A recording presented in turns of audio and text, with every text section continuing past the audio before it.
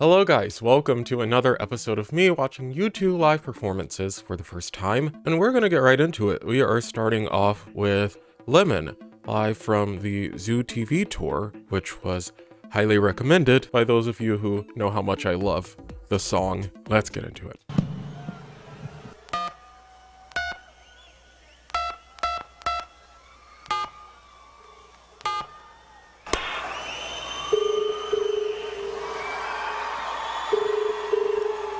Already, what I'm seeing is making me very sad that I'm not watching this full show to know the context of what's going on. But fear not, the day will come when I watch their shows in full. Don't know when, but the day will come. Thank you for calling Taxi Australia. Hello, my name is Mr. MacPhisto. I'm looking for a taxi to take me from Sydney Football Okay, so what Stadium. is your name? Hello? My name is Mr. MacPhisto. What about you speaking? Hello? Hello, what is your name? Hello?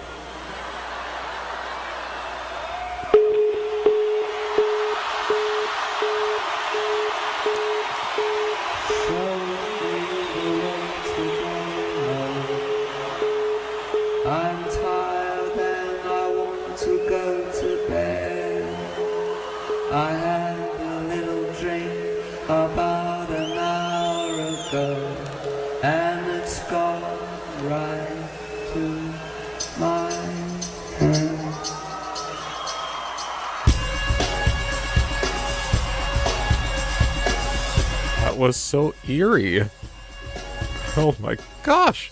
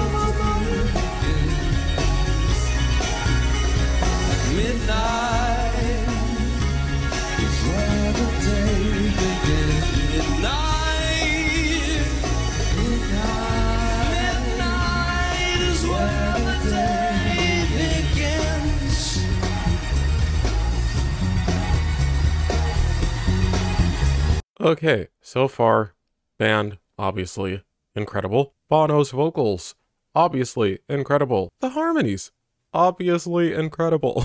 but in all seriousness, I am so pleased with the way this audio is mixed because the vocals are louder than everything else. Nothing's being drowned out, and I'm so glad. I am so glad. Alright, let's continue.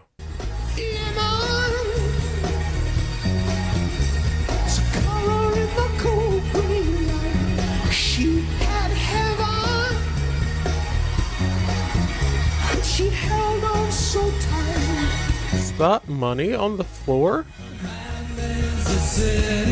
Oh, the floor of the stage.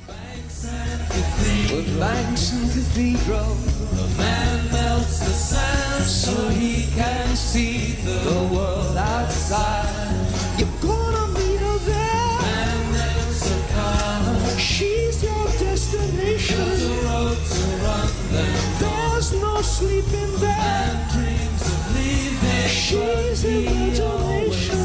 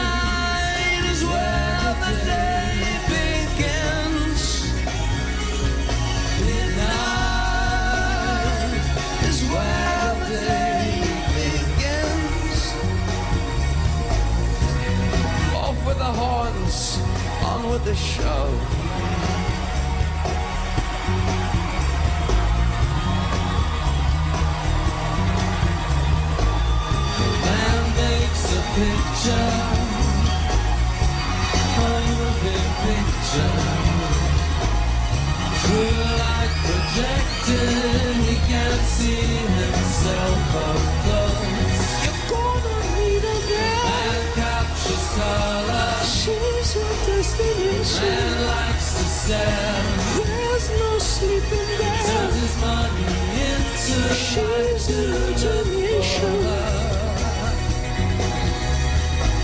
She is the dreamer. She's imagination. She or Emma. Like projected, he can't see himself up close. I don't know why, but that part just gave me goosebumps.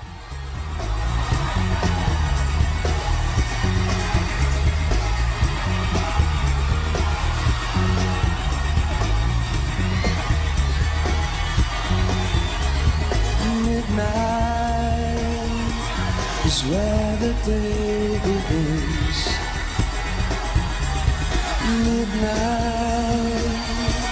is where the day begins. Midnight is where the day begins. I was not prepared for that to end so abruptly, but.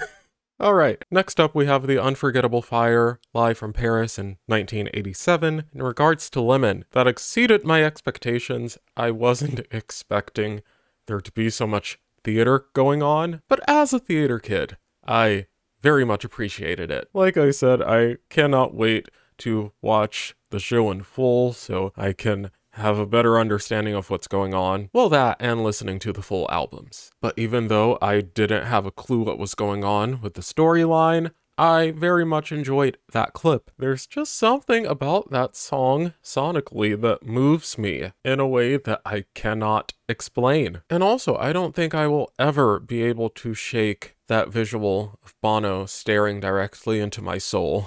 but to be honest, I don't think I want to. All right, let's get into it.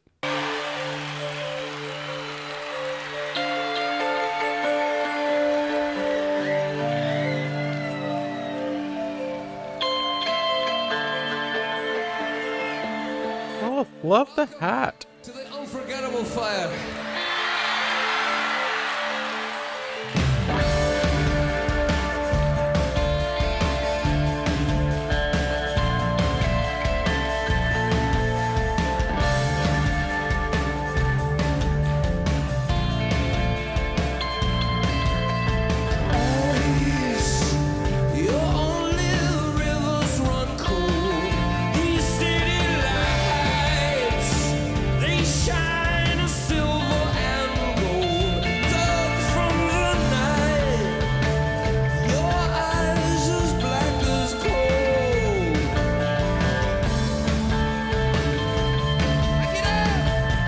Mean, I already love this song, but this live performance is already topping it. Oh my gosh, the intensity.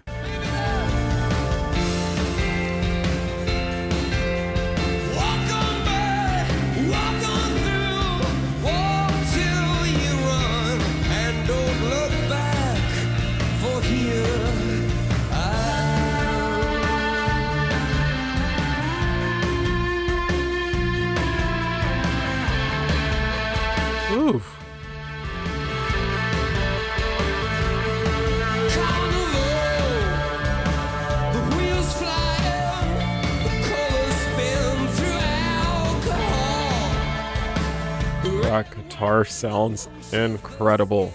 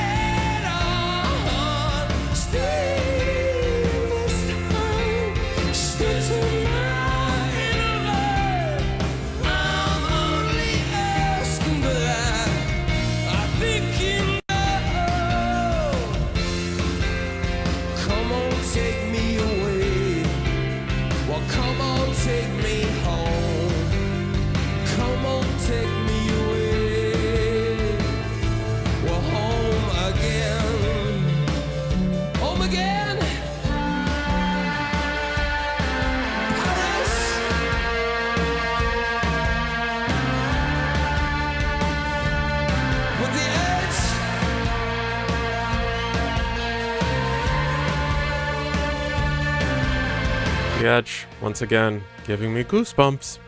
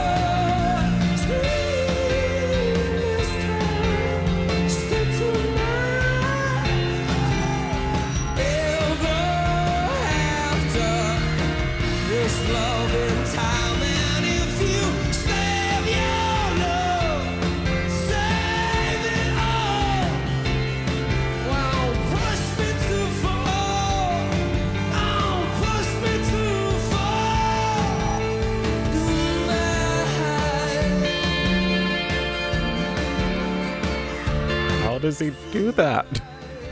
My throat hurts just listening to him.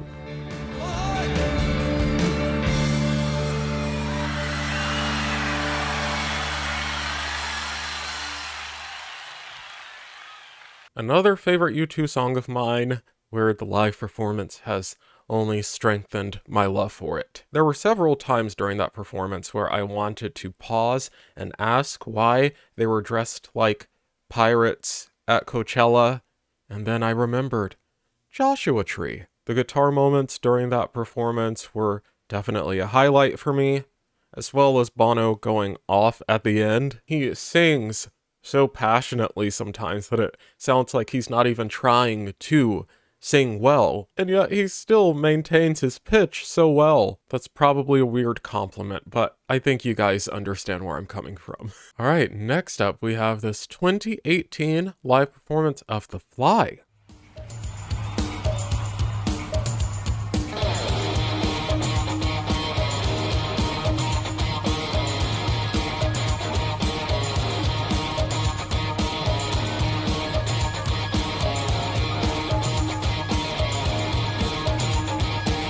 Okay, these graphics are tripping me out.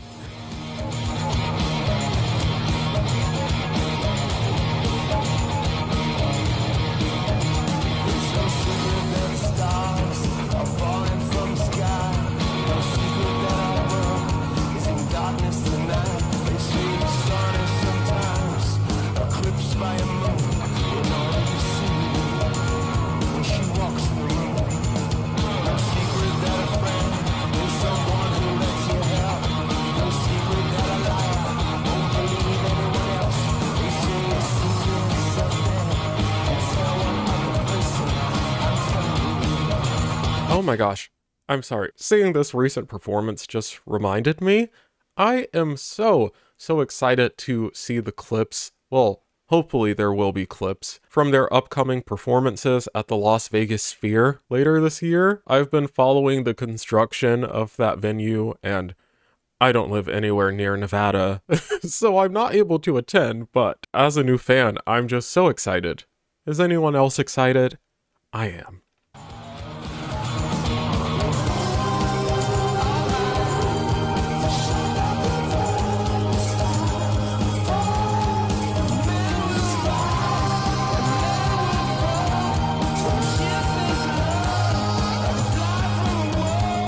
That's awesome.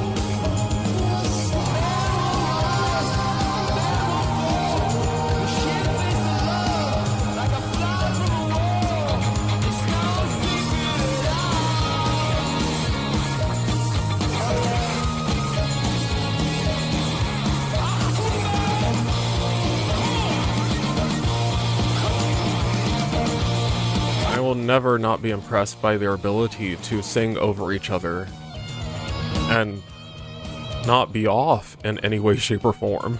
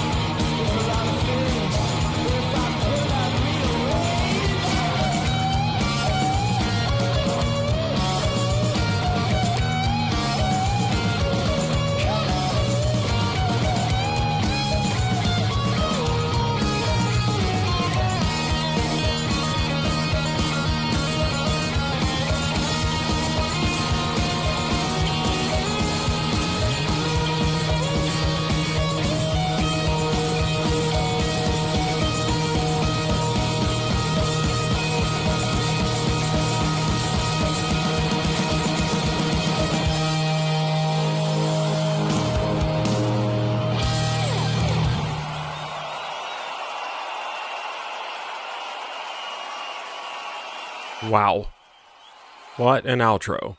Okay, lastly, we have this 1997 live performance of Discotheque, but before we get into that, I stand by my opinion on the fly, which is that in terms of production, it's one of the coolest songs I have ever heard, and I remember being very curious as to how that song would translate in a live setting. They came with the energy that song requires. And I think I enjoyed that performance even more because the instrumentation was at the forefront. Watching them play live allowed me to appreciate the instrumentation even more. And just like with Bono staring into my soul during the Lemon performance, I don't think I will ever shake the feeling that outro The Fly gave me. Alright, let's head to the discotheque.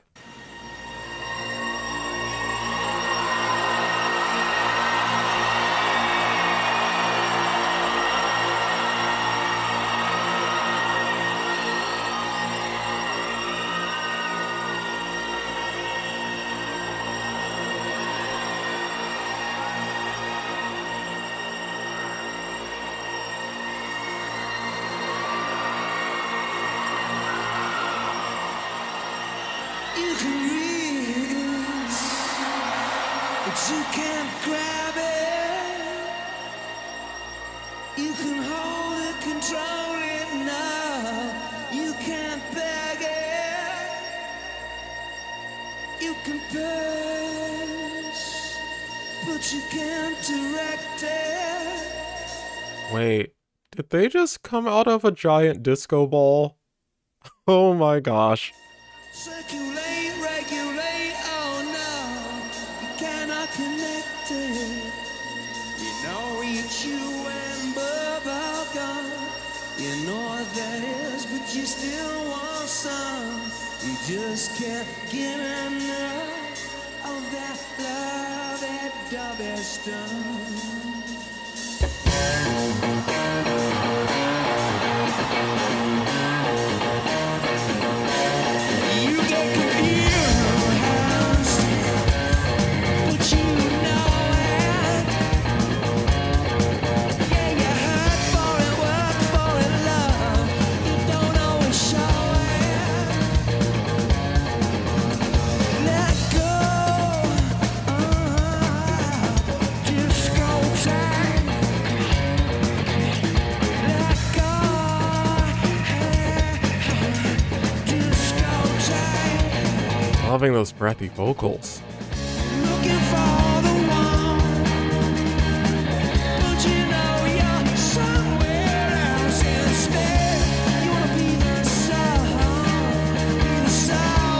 Hear in your head. I'm not going to lie. The Edges ensemble is uh, giving me 33.3% car salesman, 33.3% cowboy, and 33.3% stripper. It's a brutal combination, but of course he's managing to pull it off. I don't know how, but he is.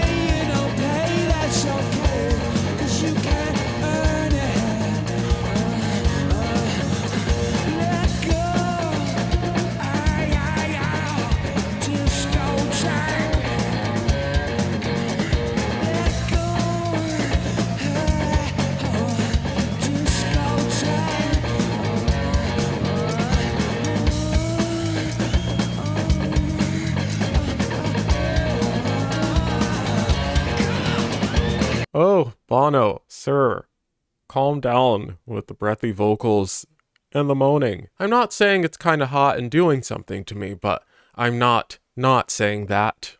I'll leave it there.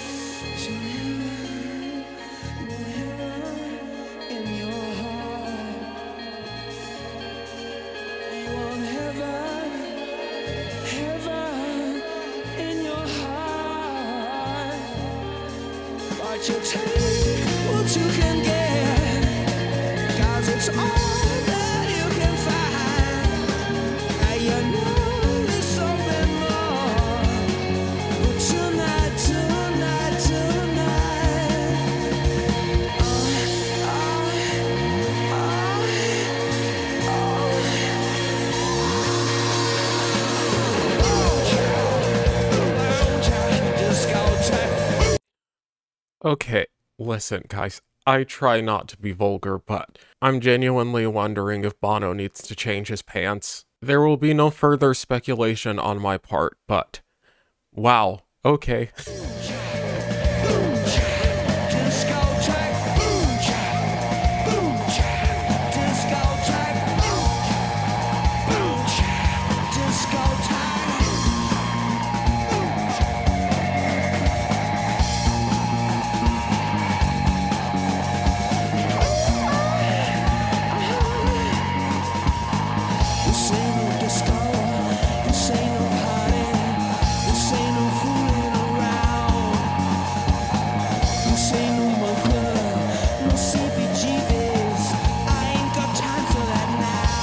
Oh my gosh, there are so many vibrant colors going on.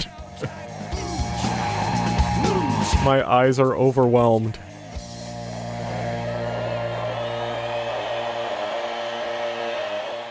Once again, I stepped into a U2 show without context, and as unfortunate as that is for me, I still had a lot of fun. What's so wild to me is that I feel like I just watched four different bands perform, and at the same time, I feel like I just watched U2 perform four times. Obviously, I'm taking into account that those were all different eras, But that's pretty much the point I'm making. From what I've observed, when they go for a different era, they really commit to it, and they don't care about switching things up completely, which I so, so appreciate. I think my two favorite performances out of this group would have to be The Unforgettable Fire and Discotheque. As much as I enjoyed all four performances, those two in particular had several moments that blew my mind. Guys, if you enjoyed this video, please subscribe for more. I love you all, and I will see you in the next one. Bye!